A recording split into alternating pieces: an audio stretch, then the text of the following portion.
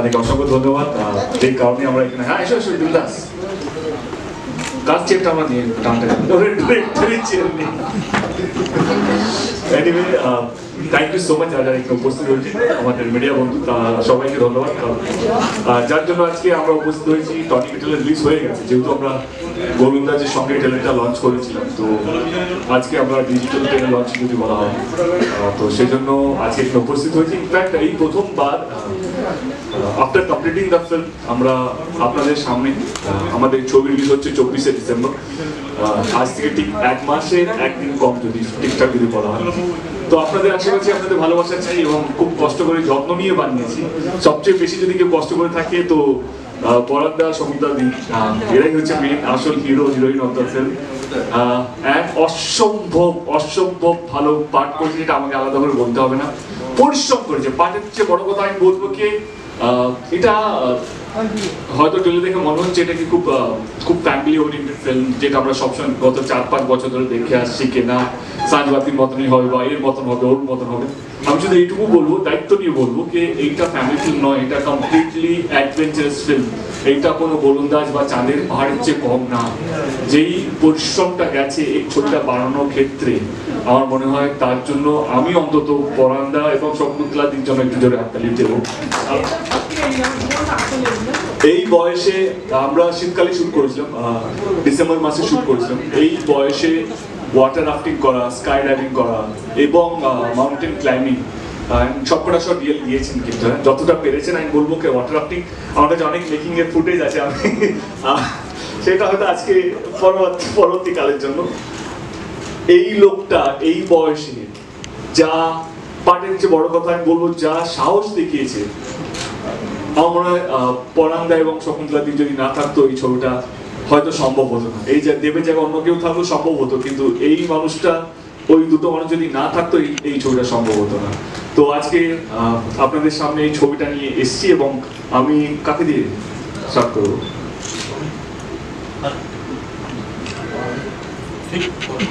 Toss করব? কাকে কে প্রথম বলব? বলল যে এটা ফ্যামিলি ছবি নয়। এটা সারা পৃথিবীর সব ফ্যামিলির ছবি এটা। কারণ,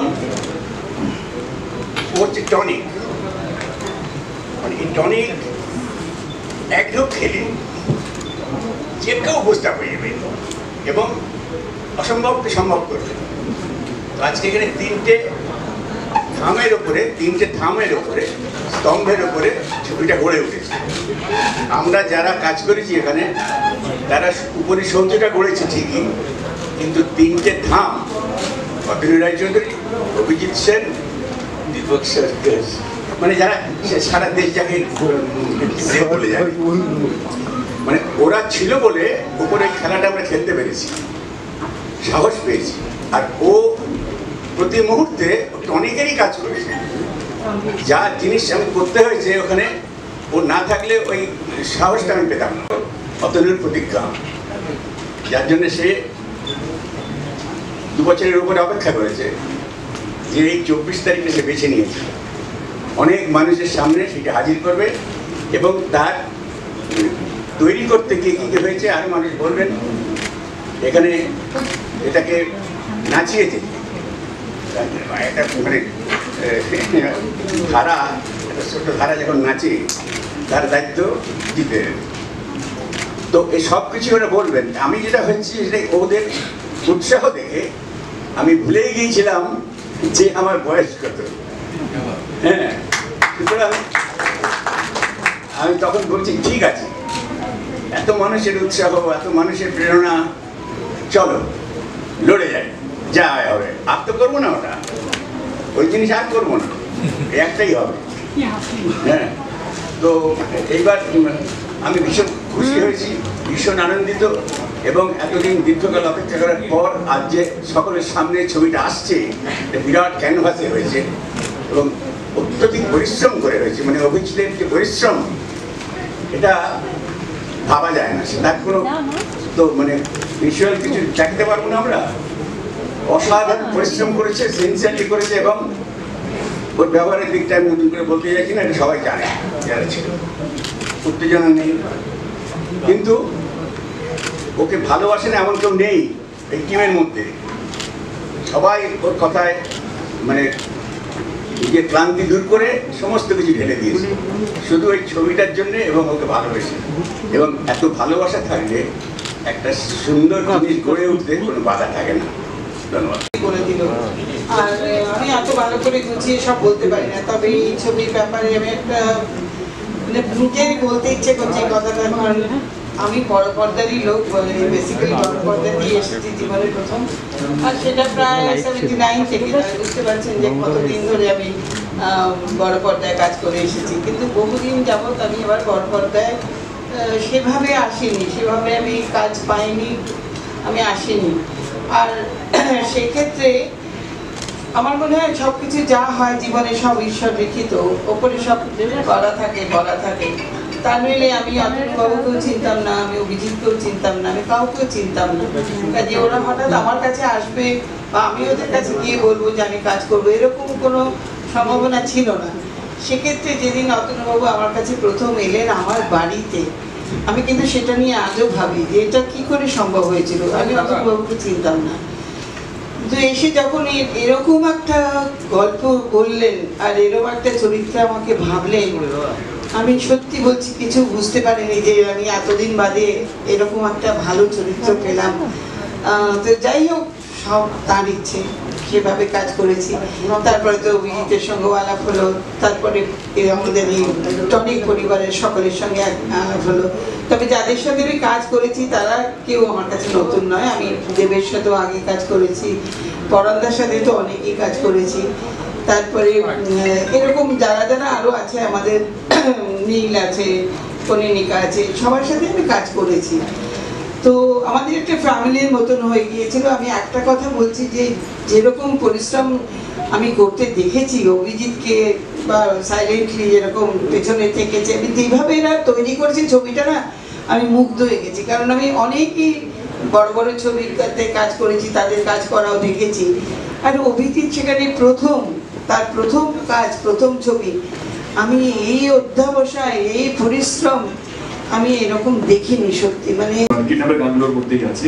এবং রিসেন্টলি সানাত ছবির সবচেয়ে হিট করা গান সুনা হ্যায় তেরে ওইটাও জিদ্দারই গান, তো ইজ লাইক এভরিওয়্যার তো আমাদের কাছে ইটস ভেরি প্রাউড মোমেন্ট যে জিদ্দার মতন এত বড় একজন লেজেন্ডকে টনিকে পাওয়া অ্যাজ এ মিউজিক ডিরেক্টর টনিকের গান ডেফিনেটলি অন্যরকম এবং ভালো লাগা মানে কানে শুনতে ভালো লাগবে এবং অভিজিৎ দা যেভাবে ছবিটাকে প্রেজেন্ট করেছে যেভাবে শুট করেছে গানগুলোকে আমার মনে সেটা দেখতেও ভালো লাগবে।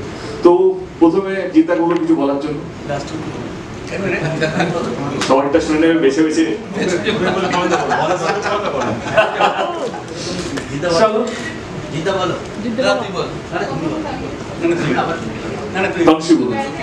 তনুশ্রী তনুশ্রী আমাদের অত্যন্ত প্রিয় একজন মানুষ আমার অতম দা এবং আহ, ওকে একটা অনুরোধেই ও না বলেনি এবং আমরা আমরা আমরা অ্যাজ এ টিম মানে অ্যাজ এ প্রোডাকশন টিম আমরা ওর কাছে হাইলি অবলাইজ যে এই ছবিটা হ্যাঁ বলার জন্য এবং ও কি রোলটা করছে সেটা আমরা এখন ডিসক্লোজ করতে পারছি না কারণ এটা ছবি দেখার পর আপনারা বুঝতে পারবেন। বা থ্যাংক ইউ তমশ্রী এই ছবিটাকে হ্যাঁ বলার জন্য। রিয়েলি রিয়েলি অতনু দা তোমাকে একটা কমপ্লিট দেওয়া উচিত এরপরে।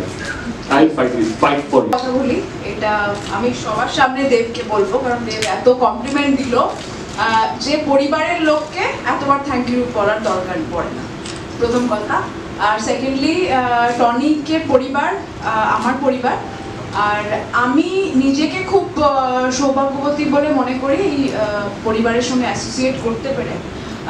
কিন্তু সেটা, এটা আমাদের ভেতরকার কথা, এটা আমাদের পরিবারের কথা। আপনারাও আমাদের পরিবার। এবং আপনারা আজকে এসছেন টনিকের ট্রেলার রিলিজ সেটাকে সাপোর্ট করার জন্য এবং আপনাদের হয়ে আমাদের টনিক সবার কাছে পৌঁছবে এবং সবাই সেই টনিক খাবে। কিন্তু আমি একটা কথা বলতে চাই যে পরম আহ, পরান্দা একটা কথা বলতেন যে আমরা যখন শ্যুট করেছি পরান্দা যেভাবে আউটডোরে গিয়ে রিভার রাফটিং করেছে স্কাই ডাইভিং করেছে, সমস্ত কিছু করেছে। মানে এটা পরান্দার মতো একজন মানুষের পক্ষে ভাবা দর্শক হিসেবে যারা দেখবে যখন দেখবে যে পরান্দার মতো এক- একজন মানুষ দেখতে দেখতে কিন্তু ভুলে যাবে যে পরান্দা পরান্দা একজন কি মাত্রার অভিনেতা। কিন্তু দর্শক ভাববে যে সে কিন্তু নিজে। মানে আমার বাবা যখন দেখবে টনিক তখন কিন্তু বাবা ভাববে যে, আমি কি সত্যি এটা পারব? হ্যাঁ আপনিই পারবেন। এইটা কিন্তু কোথাও গিয়ে টনিক দর্শককে বলবে যে হ্যাঁ টনিক দেখে কিন্তু এটা মনে হবে যে হ্যাঁ আপনি পারবেন।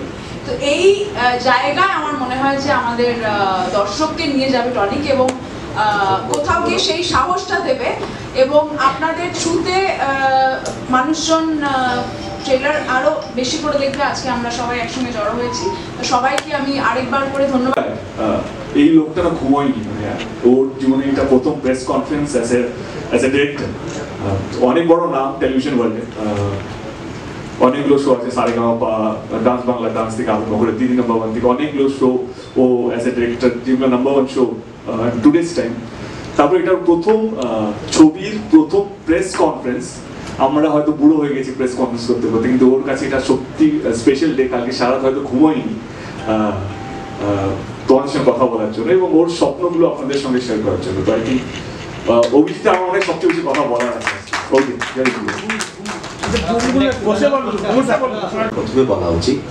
সেটা হচ্ছে যে, মনের ইচ্ছে পূরণ করার জন্য বয়স ডেফিনেটলি কোনো বাধা হতে পারে না। বয়স যাই হোক না কেন মানে আশি বছর বয়সের বৃদ্ধ বা সেই বয়স মানে সত্তর ঊর্ধ্বের কোনো বৃদ্ধ বা বৃদ্ধার তার যদি মনে করে ইচ্ছে থাকে, সেই ইচ্ছে যদি পূরণ না হয়, সেই বয়সেও যে সেই ইচ্ছেটা পূরণ করা যায় সেইটা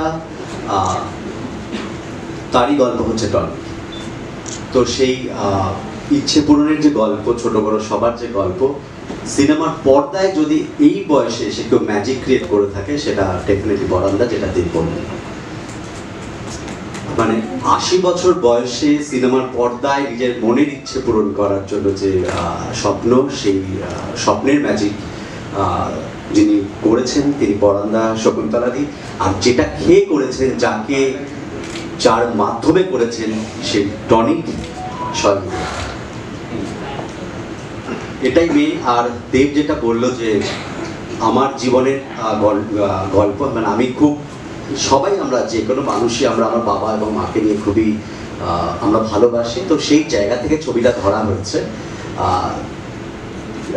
আশা করি চব্বিশে ডিসেম্বর আপনারা ছবিটা রিলিজ হলে দেখতে পারবেন, গল্পটা জানতে পারবেন, বুঝতে পারবেন কি হচ্ছে।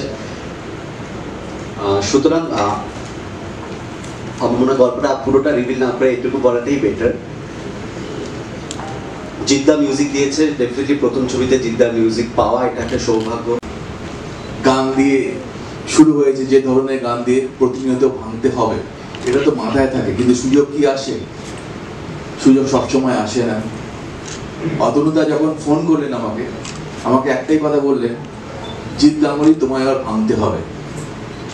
আমার খুব শুনে খুব ভালো লেগেছিল। কেননা আমিও তো খুঁজতে থাকি, দেব একের পর এক সুন্দর সুন্দর ছবি করছে, নিজেকে ভাঙছে, প্রতিনিয়ত ভাঙছে, এত পরিশ্রম করছে। তো হিন্দিতে আমি ডেফিনেটলি সিটি লাইটস করেছি আমার ইয়াদুরি কাহানি করেছি, সব করেছি। বাংলায় এই ধরনের ছবি অনেকটাই কম। তারপর আবার দেবের সঙ্গে। তো এটা অনেক বড় আমার কাছে গিফট যার মধ্যে পরান্দা আছে, দিদি আছে।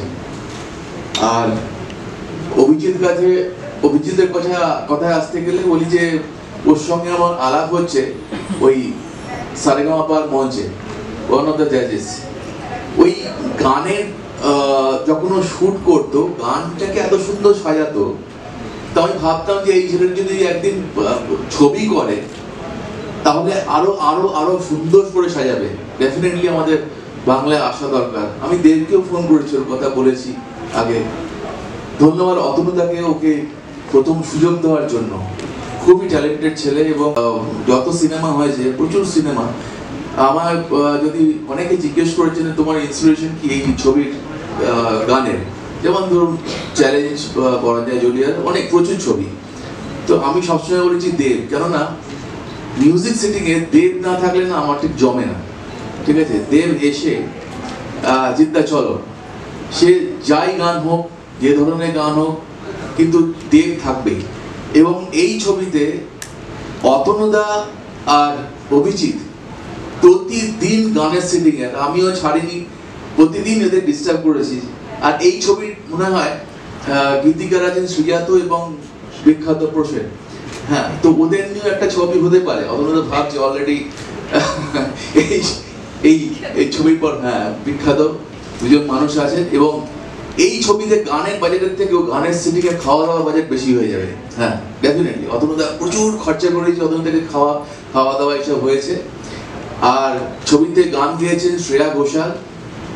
আমাদের খুবই পছন্দের মানুষ নচিকেতা নচিকেতা চক্রবর্তী, আমার ভাই অনুপম অনুপম রায় এবং অনিন্দ অনিন্দ চট্টোপাধ্যায় এবং অনিন্দ লিখেওছে গান এবং লেখার জন্য সাহায্য অভিজিৎ অনেকটাই করেছে। একেবারে অন্য ধরনের, ভিন্ন স্বাদের গান আমি চেষ্টা করেছি। আর এই মানুষটি এক লাইনে বলতে দেখিয়ে দিয়েছেন যে বয়স তুমি চোখ রাখিও না, তোমায় ভয় পাই না। পঁচিশ তারিখ সব বন্ধু বান্ধবরা চলে আসে, বাবাই রান্না করে যেহেতু বাবা রান্না করতে ভালোবাসে, সবাই জানে আমার রেস্টুরেন্ট আছে। তো আমার রেস্টুরেন্ট মোটামুটি হতো। এবারে বাবার জন্মদিন হচ্ছে। এবারে বাবাও চায় যে আমারও যদি বন্ধু বান্ধবে ডাকা হয়, যদি কৌতুক হয়, আমরা না, এটা নাকি ছেলেমেয়েরা চায় না। ছেলেমেয়েরা এত নিজের কাজে ব্যস্ত, তার বউ বাচ্চাকে নিয়ে এতটাই ব্যস্ত তারা ভুলেই যায় যে যেই বাবাটা রান্না করে বন্ধু বান্ধবকে জন্মদিন, তার ছেলে জন্মদিন করল কে তাদেরও একটা এক্সপেকটেশন থাকে কে আমার জন্মদিন যদি আমার ছেলে যদি আমার দুটো বন্ধুকে ডাকে বা আমার জন্য একটু সুইগি করে বা একটু খাবার টাবার থেকে নিয়ে আসে, এটাই হচ্ছে টনি। এই যে আমরা, এটা কেউ দোষ না, এটা কারও দোষ না। আমি বেড়াতে খুব ভালোবাসি, আমি বেড়াতে চলে যাই। কিন্তু আমি যে যে জায়গাগুলো বেড়াতে যাই, সেগুলো একটু কঠিন হয় মানে ট্র্যাকিং ব্যাকিং থাকে। But I make it a point কি আমার বাবা, আমার মা, আমার সঙ্গে যেন দার্জিলিং যদি শুটিং এ যায় তারা যেন তাদের একটা জায়গা বছর দুবার তারা যেন বেড়াতে যেতে পারে, সেটা বাবা মা নিজেরাই ডিসাইড করে। মানে এবং এইটাই হচ্ছে টনিক কে টনিক যদি পর আমরা কি মানে এখন অনেক বেশি ফ্যামিলি ড্রামা হয়ে গেছে, অনেক বেশি জ্ঞান দেওয়া হচ্ছে, এটা জ্ঞান দেওয়া নয়? এটা হচ্ছে কি, ছবির মজা, যেহেতু আমরা করোনার মধ্যে এমন একটা জায়গায় এসেছি, আমরা সব সব sad ending sad story family মানে ইমোশন ফ্যামিলি মানে ফ্যামিলির মতো মজা থাকে, একটা বাবা ছেলের মতো মজা হতে পারে। কিন্তু তার মধ্যে একটা গল্প আছে কি সেলফ রিয়েলাইজেশন এটা কি আমরা করতে পারি না? সত্যি তো। মানে আজকে আমার বাড়িতে আমার বন্ধুরা আসে, কিন্তু বার বন্ধুরা এলে আমরা জিজ্ঞেস করি কেন তোমার বন্ধু কখন যাবে? কিন্তু আমার বাবা আমাকে জিজ্ঞেস করে না যে তোর বন্ধু গামলি যদি আমার বাড়িতে আসে, আমার বাবা কোনোদিন জিজ্ঞেস করবে না জিৎ গামলি কখন বাড়ি থেকে যাবে। It's a realization it's not Tonic Tonic is not সবাই ঘরে টনিক থাকতে হবে। আমরা সবাই টনিক আমাদের বাড়িতে পরাদা বা সমুদ্র মতন চপলা দেবীর মতন আছে, লোক আছে। আমরাই টনি, কিন্তু আমাদের সেলফ রিয়েলাইজেশনটা করতে হবে। এবারে আমার বাবা যদি পাহাড়ে চড়তে ইচ্ছে করে, এবার আমি যদি বলি বয়স, আমি তো নিয়ে যেতে পারি। নিয়ে যাওয়ার পর দেখলাম অ্যাটলিস্ট হি ফিলস দ্যাটকে চড়তে পারলাম না। আমি কিছুদিন আগে আইসল্যান্ডে ছিলাম, আমরা একটা ভোলক্যানো ট্রিপ দেখেছিলাম, এটা এটা, আমার মনে হয় এটা জানা উচিত আমার খুব সুন্দর লেগেছে এই মুহূর্তটা। ভোলক্যানো ইরাপশনে যাওয়ার জন্য তিনটে পাহাড় চড়তে হয় it's like four hours trekking ছিল। আমাদের একটা গ্রুপ ছিল গ্রুপের মধ্যে আমরা বাইশ জন ছিলাম, তার মধ্যে অনেকজন সিনিয়র সিটিজেন ছিল। তাদের ছেলেমেয়েরাও ছিল। ওরা একটা পাহাড় চড়ার পর বলল কি I don't think will be able to make it don't stay wait for us you please go head আমার একটা রিয়েলাইজেশন হলো, ও ছেলেও তো বারণ করতেই পারতো কে, না বাবা, তুমি যেতে পারবে না। বাট দেন দে রিয়েলাইজ কে, না, সত্যি এটা আমার বয়সের জন্য না। But they went that went to that place ওরা গেল, তারপরে রিয়েলাইজ করল, ওই স্বপ্নটা তো সত্যি হলো। এটাই হচ্ছে টনিক কে হয়তো করতে পারবে না। বাট লিস্ট আমরা ওই জায়গাটা নিয়ে যেতে পারি, ওই ওই ওই ওই অনুভূতিটা, ওই ওই ভালো লাগাটা তৈরি করতে পারি। এইটাই টনিক বরুণদা জোস আইকনিক ক্যারেক্টার আমি জানি এই ক্যারেক্টার জীবনে পাবো না। হয়তো এরকম পাবো না। তো ওইটা পাওয়া, চাওয়া একদমই আলাদা ছিল। টনিকের মতন গল্প গল্পটা আমি আন্ডারলাইন করেছি গল্পটা খুব আমি আমার জীবনে গল্প ওরিয়েন্টেড সাবজেক্ট খুব কম পেয়েছি। আমি পেয়েছি চাঁদের পাহাড় ছবি। আমি পেয়েছি যে ছবিগুলো নিয়ে আলোচনা হয়, Paglu.